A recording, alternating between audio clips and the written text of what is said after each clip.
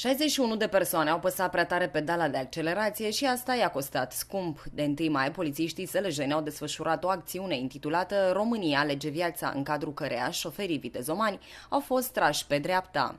Zonele în care aceștia au acționat cu 11 radare au fost porțiunile de drum unde sunt cele mai multe accidente rutiere înregistrate.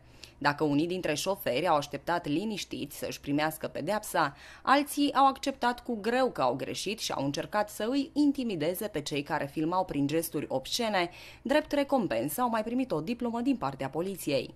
Două persoane s-au ales și cu permisul reținut, una pentru că a depășit neregulamentar, iar alta pentru neacordare de prioritate. În total s-au dat 114 contravenții, valoarea acestora fiind de 17.165 de lei. Au fost angrenate 15 cadre de poliție, susține șeful Poliției Rutiere din Sălaj, Vasile Sabău. În data de 01-05-2013, efectivele Poliției Rutiere Sălaj vor acționa pe cauzele generatoare de accidente, respectiv neadaptarea vitezei la condițiile de drum sau excesul de viteză. Azi am organizat o acțiune tip cascadă în zona Românaș, Poarta Sălajului, pe tronsonul Zalău-Cluj, unde la nivelul județului Sălaj în 2013 și anii trecuți s-au înregistrat cele mai multe accidente de circulație.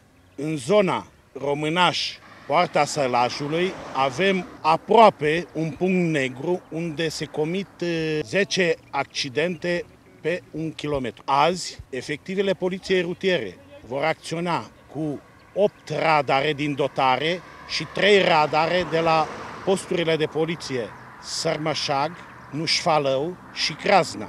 Ce viteză ați avut? 66 am avut. Ați mai avut probleme așa cu depășirea vitezei? Până acum nu. O zi bună. Să aveți.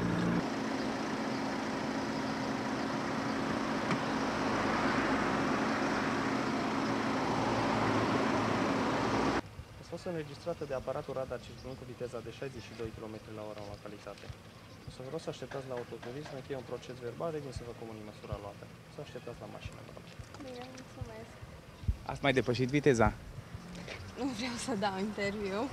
Recomand participanților la trafic să conducă preventiv, să reducă viteza și să respecte viteza legală în localități și în afara localităților. Vă doresc drum bun și sărbători fericite!